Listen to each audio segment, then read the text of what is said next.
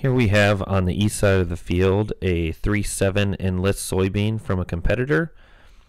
There were two post applications applied to control the weeds and we're seeing quite a bit of weed escapes. The farmer plans to come in with another post application of enlist and Roundup and AMS and Zidua within the next few days. As we move to the west end of the field where we have some XtendFlex soybeans, these are Asgrow 38 XF1s. XtendFlex soybeans.